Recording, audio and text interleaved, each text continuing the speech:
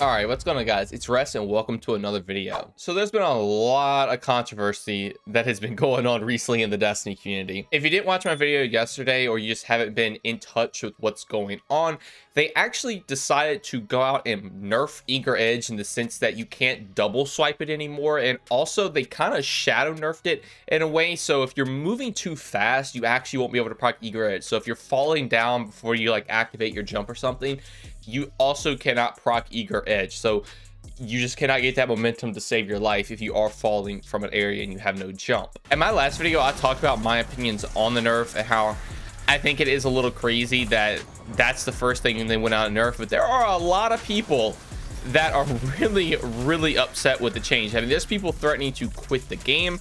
There's people threatening to, you know, uninstall and literally just never play the game again in general like not even like just take a break aka quitting. And the sad part is honestly there are probably people also threatening you know bungie developers as well because of a little change like this which is just not cool. Yeah ch the change is also not cool but literally being hostile to somebody over a change like that is is even way way worse. Like don't don't don't be that person. But one of the main talking points is that bungie is not fixing things like the duality dungeon which obviously has a lot of bugs in it right now you can pretty much just instant die at some points if you're trying to ring the bells uh, which makes it really really hard for solo players you know, to complete it if you're trying to get a solo completion because you just end up dying randomly I mean, there's also obviously a bunch of other bugs in the game. There's stuff that can be buffed and nerfed, and they're choosing to go out and change something that the community loves. It just honestly does give it a bad look in my opinion. But obviously i'm not a game developer. I'm sure some stuff is way way easier to patch than others. And this was probably something they could just get done quickly because it's probably just a little tuning of a perk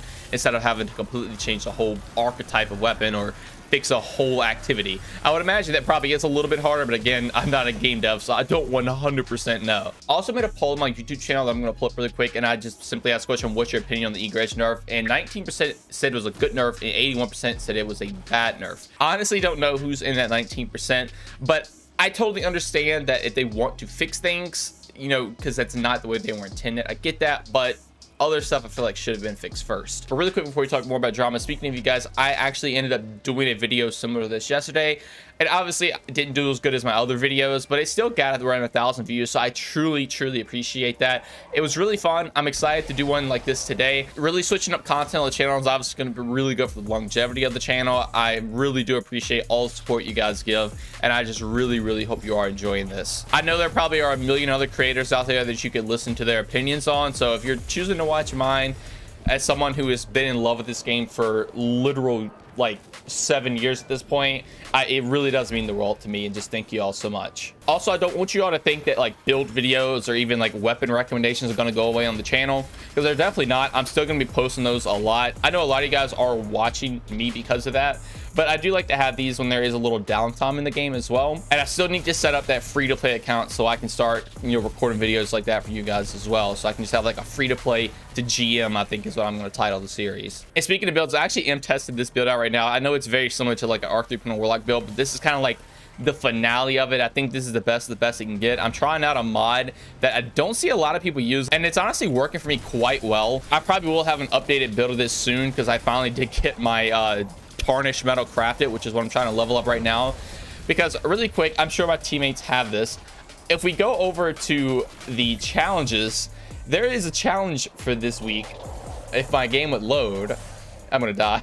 Uh, where you have to level up 10 shaped weapons. Uh, seasonal weapons specifically. So things like all the you know plunder weapons, Tarnished Mettle, the the you know this linear fusion I just got, all the seasonal weapons like that. I actually do have one of the SMGs leveled up to level 10, so that's good. That's where I was at 1 out of 10. But I am working on the Sky Rifle, and I also did get the uh, Linear Fusion being able to get leveled up as well. So hopefully I'll get that challenge done soon. But luckily, this is the week they did increase the, you know, I guess ability to get red border weapons. But for people that have been struggling a little bit like me, I know that's going to be a little difficult to get max which kind of sucks. But yeah, if you didn't vote in that poll, let me know what you guys think about the Eager Edge nerf. Do you do you even run it? I know some people that don't even run it. They never have. I mean, obviously running a normal sword is also going to be still better for momentum. Uh, I guess you could even argue at some points Eager Edge can kind of screw you over. But, let, but let's be honest, though, in most parts of the game, it is a lot better.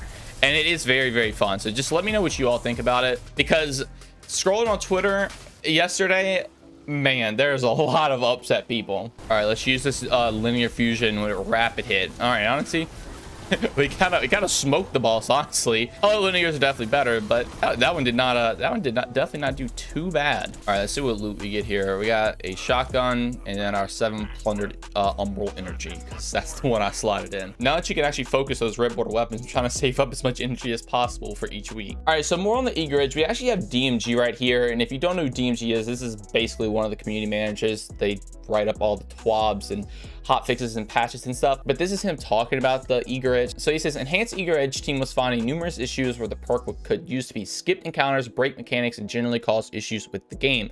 Having a couple notes from my perspective on where we like to improve moving forward. I totally understand, obviously, you could basically do those things, but the problem is, is even with the change they made, I don't know if there's anywhere in the game you still can't do what you previously did.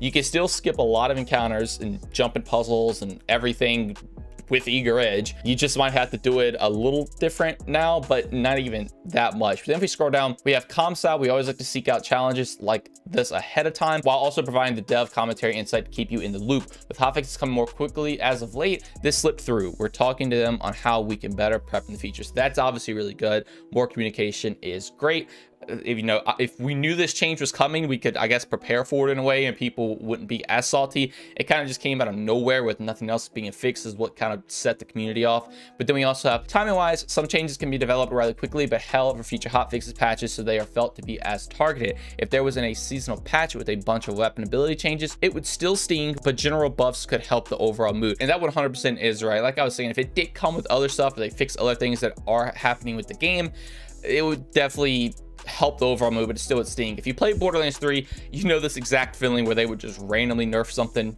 you know, more so at the beginning of the game. They kind of fix that problem later in the game, but at the beginning of the game, they would just nerf something without literally doing anything else or even wonderlands at the launch too. It was it was a rough time back then. But then it, when it comes to specific change there was a rush on the part of the dev side. It just happened to be a sign this hotfix got the appropriate test pass and went out the door and we'll be talking to the team about timing for changes like this moving forward as well okay? So again good more communication with, with us and the team. Obviously really good. This is just something they could get out quick that they were going to do anyway, so might as well go on and push it out. Then finally, ending this string of tweets will repeat myself in saying thank you to many players who have been reaching out with the constructive feedback and illustrating their gut reactions in respective ways. It helps a ton bringing your voices to the development table. So yeah, definitely that last part. If you're going to criticize them, please at least doing it in a constructive and respective way. Having people go on and just scream at the Bungie devs, uh, it's just insane. I mean, as a content creator, obviously I see it happening to other people.